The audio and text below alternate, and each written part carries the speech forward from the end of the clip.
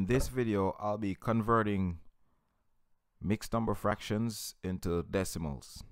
So and I'll be working with two examples. Number one is three and a half and number two is five and three fourths. So I'll be converting these two examples, these two mixed numbers into decimals for you. Okay, starting off with number one. As you can see here, we have three and a half or three and one over two. So before we can do anything with this mixed number, we have to first of all convert the mixed number into an improper fraction. And we do this by multiplying the denominator, which is 2, by the whole number, which is 3, and then adding that product to 1 as a numerator right here. So 2 times 3 equals 6, plus 1 equals 7. So we're going to have 7 as our numerator and 2 as a denominator because the denominator stays the same. Now, the next thing we have to do basically right here is just move along and then turn this 7 over 2 into decimal form. How do we do that? Well, what we have to do is we have to make an equivalent fraction with 100 as the denominator. So with 100 as a denominator, we say to ourselves, how many times does 2 go into 100? 2 goes into 150 times. So we're going to write 50 right here. Which is essentially the same thing as saying 2 times 50 equals 100, right? So let's put our multiplication sign. And we put our equal sign, right? So 2 times 50 equals 100. Now we're going to take this right here, times 100 equal. We're going to place it at the top in order to figure out the numerator of the equivalent fraction. So we're going to say 7 times 50 equals, that's going to be equal to 300. Let me fix my 3. 350. My 3 is a little funny. That's 350 over 100. Come back again. Now, the next step we have to do is we have to divide 350 by 100. Now that's a very simple process and I'll show you in a second. So we have 350 over 100.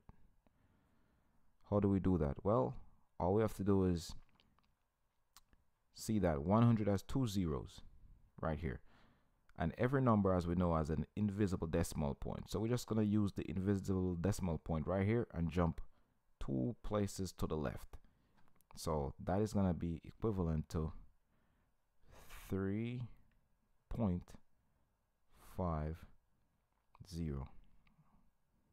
That's it.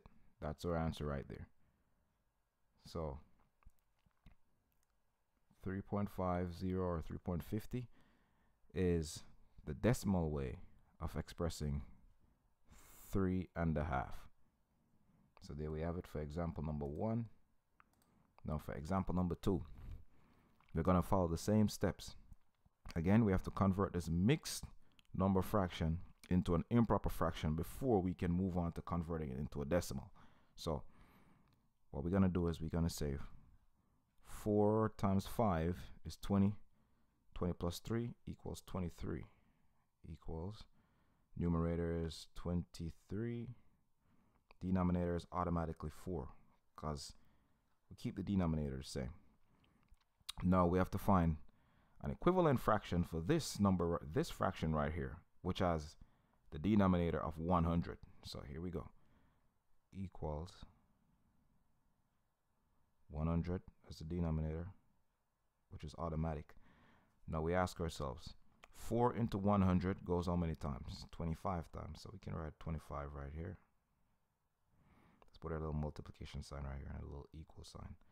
So we can flip it up and we can say 4 times 25 equals 100. Then we're going to take this area right here, place it on the top, do the same thing with the 23 in order to figure out what the numerator is going to be. So we have 23 times 25 which is equal to 575 5 7 5 now we're going to move on to the next step And the next step basically is to divide 575 by 100.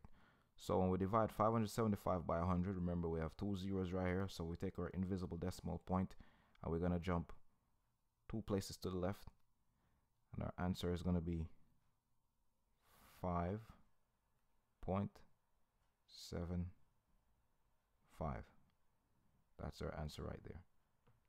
Simple as that. So 5.75 is the decimal form of 5 and 3 fourths.